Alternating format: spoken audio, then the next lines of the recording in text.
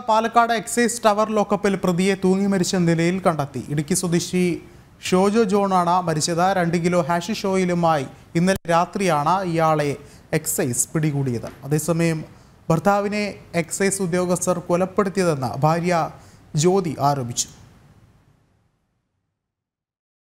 കുറ്റം സമ്മതിച്ച വ്യക്തിയാണ്. അപ്പൊ അങ്ങനെയാണെങ്കിൽ മേൽ നടപടികൾ സ്വീകരിക്കാനും തയ്യാറായിരിക്കുമല്ലോ. അങ്ങനെ ഒരാൾ ഇത്രയും ചുരുങ്ങിയ സമയത്തിനുള്ളിൽ എന്തിനു ചെയ്യണം? നിങ്ങൾക്ക് എപ്പോഴും വിവരം കിട്ടുന്നത്? രാവിലെ ഏഴ് മണിക്ക് ഇപ്പോൾ വിളിച്ച് സൂയിസൈഡ് ചെറിയൊരു ബുദ്ധിമോശം കാണിച്ചു. മരിച്ചു എന്ന് പറഞ്ഞില്ല. ഏഹ് അപ്പം ഞാൻ എന്താണ് സംഭവം ചോദിച്ചപ്പോൾ ഹോസ്പിറ്റലിൽ റിപ്പോർട്ട് കിട്ടിയിട്ടില്ല പറഞ്ഞു. പെട്ടെന്ന് വരാൻ പറഞ്ഞു. ഞങ്ങൾ വന്നപ്പോഴേക്കും മോർച്ചറിയിൽ ബോഡി എത്തി. അങ്ങനെ ഇവരിപ്പോൾ അങ്ങനെ ഹോസ്പിറ്റലിൽ വരികയാണെങ്കിൽ മരിച്ചുകൊണ്ടല്ലേ മോർച്ചറിക്ക് നേരിട്ട് കൊണ്ടുവന്നിരിക്കുന്നത്? അല്ലെങ്കിൽ അവർ ട്രീറ്റ്മെന്റിനല്ലേ പോകേണ്ടത് അപ്പോൾ അവിടെ നിന്നാണല്ലോ മരിച്ചിരിക്കുന്നത്?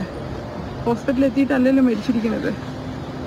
അപ്പോൾ അവിടെ അങ്ങനെ മരിക്കാനുള്ള ഒരു സിറ്റുവേഷൻ ആയിരിക്കും. എനിക്കറിയില്ല എക്സൈസ് ഓഫീസും പോലീസ് സ്റ്റേഷനും ഞങ്ങൾക്ക് അറിയില്ല ഇത് അവിടെ എങ്ങനെയായിരിക്കും നമുക്കറിയില്ല. തീർച്ചയായിട്ടും. കൂടുതൽ വിവരങ്ങളുമായി അരുൺ ആലത്തൂർ ചേർന്നുണ്ട് അരുൺ ആ, ഒരുപക്ഷേ വളരെയധികം ആ, ദാരുണമായൊരു സംഭവമായി വേണം ഇതിനെ നോക്കിക്കാണാൻ. ഒരുപക്ഷെ ആ, ലോക്കപ്പിൽ പോലും സുരക്ഷ ഇല്ല എന്നുള്ളൊരു കാര്യം ഇത്തരത്തിൽ ഒരുപക്ഷേ അവർ ആരോപിക്കുന്നത് പോലെ ഇതൊരു ലോക്കപ്പ് മരണമായി കാണാൻ സാധിക്കുമോ ഇന്ന് രാവിലെയാണ് ലോക്കപ്പിൽ ഇത്തരത്തിൽ പ്രതിയെ മരിച്ച നിലയിൽ കണ്ടെത്തിയത്. പാലക്കാട് എക്സൈസ് ടവർ ലോക്കപ്പിലാണ് പ്രതി ആത്മഹത്യ ചെയ്തത്. ഇടുക്കി സ്വദേശി ഷോജോ ജോണാണ് ആത്മഹത്യ ചെയ്ത നിലയിൽ കണ്ടെത്തിയത്. രണ്ട് കിലോ ഹാഷിഷ് ഓയിലുമായി ഇന്നലെ രാത്രിയാണ് ഈ ഷോജോയെ എക്സൈസ് പിടികൂടിയത്. ഏതായാലും ഇതൊരു കൊലപ്പെടുത്തിയതാണ് ഇത് ആത്മഹത്യയല്ല കൊലപാതകമാണ് എന്നുള്ളതാണ് ഭാര്യ പറയുന്നത്. കാരണം ഭർത്താവിനെ എക്സൈസ് ഉദ്യോഗസ്ഥർ കൊലപ്പെടുത്തി എന്നുള്ളൊരു ആരോപണമാണ് ഈ ഭാര്യ ജ്യോതി ഉന്നയിക്കുന്നത്. കുറ്റം സംബന്ധിച്ചയാൾ ആത്മഹത്യ ചെയ്തു എന്ന് കരുതാൻ പറ്റില്ല എന്നുള്ളതാണ് അവർ പറയുന്നത്. ഈ സോജി ജോണിനെ ആരോ മനഃപൂർവം കേസിൽ കുടുക്കിയതാണെന്നും ഇതുവരെ ഇത്തരം ഒരു കേസിൽ ഉൾപ്പെട്ടിട്ടില്ല എന്നുൾപ്പെടെയാണ് ഭാര്യ ജ്യോതി പറയുന്നത്. ഏതായാലും നേരത്തെ പറഞ്ഞ പോലെ തന്നെ ഈ ലോക്കപ്പിൽ കൊലപാതകമാണെങ്കിലും ആത്മഹത്യ ആണെങ്കിലും ഒക്കെ പ്രതികൾ ലോക്കപ്പിൽ കഴിയുമ്പോൾ അത് കൃത്യമായി തന്നെ സുരക്ഷ ഉറപ്പാക്കേണ്ടതാണ്. എക്സൈസിന്റെ ഭാഗത്തു നിന്ന് അത് ഉണ്ടായില്ല എന്നുള്ളത് ഗുരുതര വീഴ്ചയാണ്.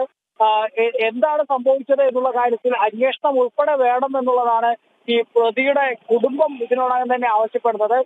നിലവിൽ പ്രതിയുടെ മൃതദേഹം ലോകത്തിൽ നിന്നും പാലക്കാട് ജില്ലാ ആശുപത്രി മോർച്ചറിയിലേക്ക് മാറ്റിയിട്ടുണ്ട്. പോസ്റ്റ്മോർട്ടം നടപടികൾക്ക് ശേഷം ബന്ധുക്കൾക്ക് വിട്ടു നൽകുമെന്നുള്ളതാണ് മനസ്സിലാക്കാൻ സാധിക്കുന്നത്.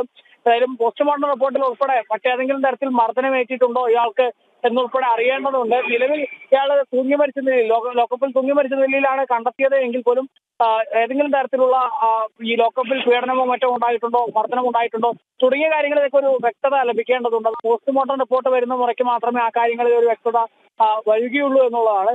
നിലവിൽ ഏതായാലും പ്രതിയുടെ മൃതദേഹം പാലക്കാട് ജില്ലാ ആശുപത്രിയിലെ പോസ്റ്റ് മോർച്ചറിയിൽ പോസ്റ്റ്മോർട്ടം നടപടികളിലാണ്. വ്യക്തമാണ്. അരുണാലത്തൂരാണ് വിശദമായ റിപ്പോർട്ടുകൾ പങ്കുവച്ചത്.